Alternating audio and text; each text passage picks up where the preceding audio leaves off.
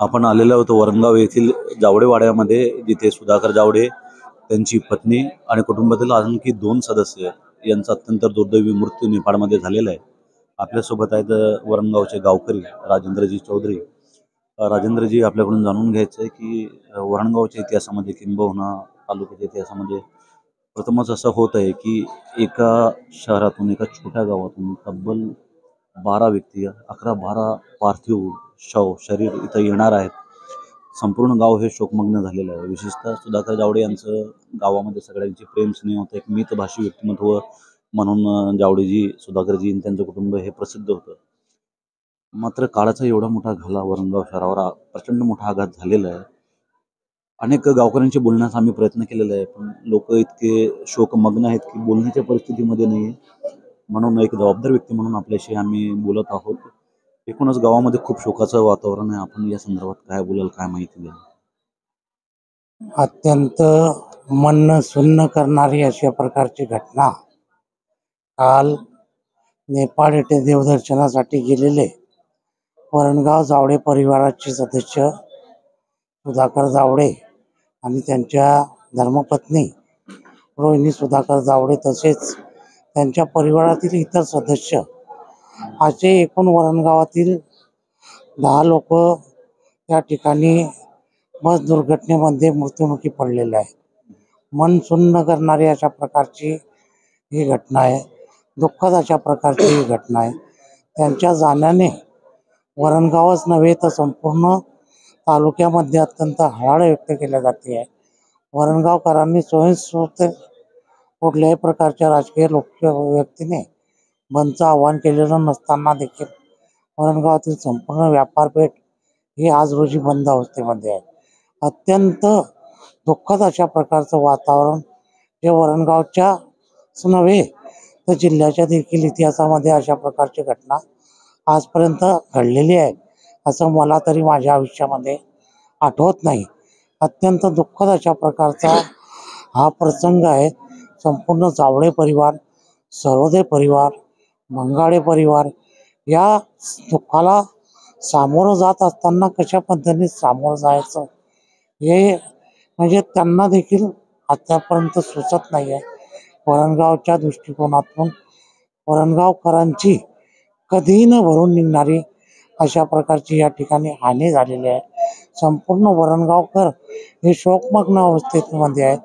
जावळे परिवार असेल सरोदे परिवार असेल किंवा बंगाडे परिवार असेल यांच्या दुःखामध्ये संपूर्ण वरणगाव शहर हे सहभागी आहे दादा मग आपण उल्लेख केला जावडे परिवार सरोदे परिवार वगैरे हे प्रत्येक कुटुंबातून किती व्यक्ती या अपघातामध्ये अपघाताचं त्यांना नुकसान झालेलं आहे त्यांच्या संदर्भात आपण थोडी माहिती. जावडे परिवाराच्या संदर्भामध्ये जर बोलायचं झाल्यास जावडे परिवाराचे एकूण सहा सदस्य या ठिकाणी मृत्युमुखी पडलेले आहेत.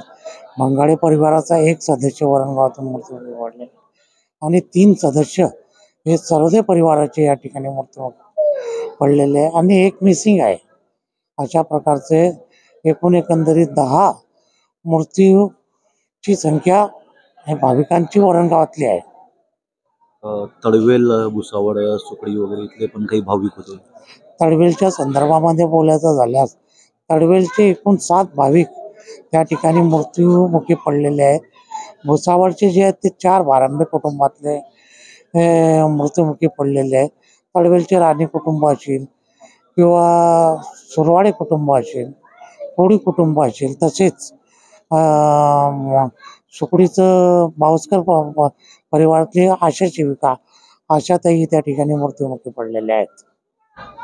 तुझं खरं म्हणजे जवळपास एक डझन व्यक्ती एकाच गावातून मृत्यूमुखी पडणं आणि म्हणजे कल्पनाच करवत नाही. म्हणजे अक्षरशः हृदयाला छेदणारी ही गोष्ट आहे की इतकी लोक असतील तर मग गावकऱ्यांच्या अंत्यसंस्काराची काय व्यवस्था करण्यात आली? कशा पद्धतीने कुठल्या कुठल्या ठिकाणातून ते पार्थिव येणार आहेत आणि अंत्यसंस्कार कशा पद्धतीने होणार आहे अंत्यसंस्काराच्या संदर्भामध्ये जर बोलायचं झालं तर वरणगावची जी मशानभूमी आहे त्या मशानभूमीमध्ये नगर परिषदेच्या माध्यमातून तात्पुरत्या स्वरूपाचे पिंजरे आसारी आसाऱ्या टाकून सण पिंजरे तयार केलेले आहेत. आणि त्या दृष्टिकोनातून चोखपणे अत्यंत शिस्तबद्ध पद्धतीने संपूर्ण वरणगावातले जे जे काही राजकीय पक्षाचे पदाधिकारी असतील त्यांच्या माध्यमातून त्या ठिकाणी नगर परिषदेच्या मुख्य कार्यकारी अधिकाऱ्यांच्या मार्फत तहसीलदार मॅडमच्या मार्फत अंतिम संस्काराची तयारी ही चांगल्या पद्धतीने केलेली आहे. दादा ज्यावेळी ही घटना घडली इतकी मोठी दुर्घटना घडली त्यानंतर गावात कुठेही चूल पेटलेली नाहीत. अं, व्यापाऱ्यांनी स्वयंस्फूर्तीनं आपले धंदे कारोबार बंद केलेत. माता भगिनी अक्षरशः दोन दिवसापासून लढत आहेत. काय जात काय धर्म पंथ भेदभाव सोडून सर्व नागरिक. एकवटलेले आहेत. आणि अशा प्रकारची एक दुर्घटना पहिले पण झालेली होती दहा बारा वर्षापूर्वी. हो.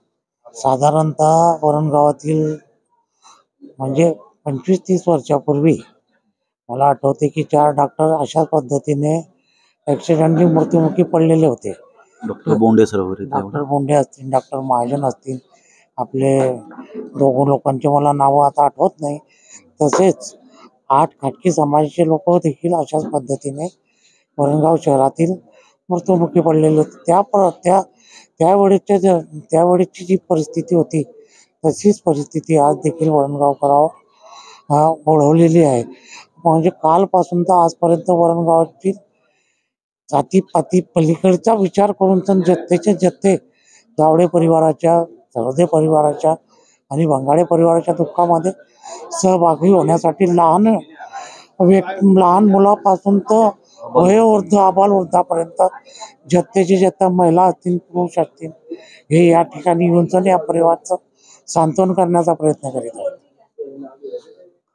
नक्कीच दुःख हे छोटं मोठं नाही आहे. डोंगरा एवढा म्हणा समुद्रा एवढा म्हणा पर्वता म्हणा या दुःखाचं कुठेच मोजमाप नाही. जी परिस्थिती जो काळाचा झाला वरणगाव सारख्या छोट्याशा शहरावर आलेलं आहे इतके सारे लोक एकसोबत मृत्युमुखी पडणे ते सुद्धा देवस्थानाला तीर्थस्थानाला भेट देताना झालेलं आहे. खरोखर अत्यंत दुःखद आणि शोकांतिका अशी आहे. जी परिस्थिती जी वरणगाव सारख्या शहरावर आलेली आहे ती कुणावरही येऊ नये अशी प्रार्थना करूया. आणि अधिक माहिती आपणास आम्ही वेळोवेळी देत राहू. मी स्वतः अयाज मोहसिन एक वरणगावकर असल्या कारणानं मला सुद्धा अतिव दुःख आणि वेदना होत आहे. पत्रकारितेमध्ये पहिल्यांदाच असं होतं की आपल्याच गावातील लोकांची बातमी आपल्यापर्यंत पोहोचत असताना एक प्राणांतिक वेदना माझ्यासारख्या एका संवेदनशील मनाला सुद्धा होत आहे.